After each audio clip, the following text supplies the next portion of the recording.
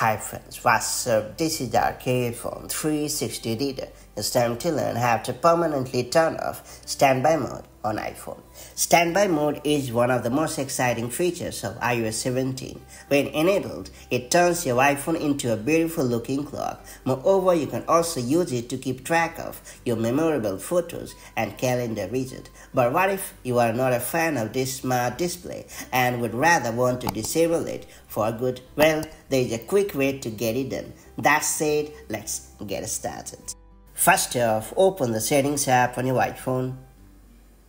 In the Settings menu, scroll down and choose Standby.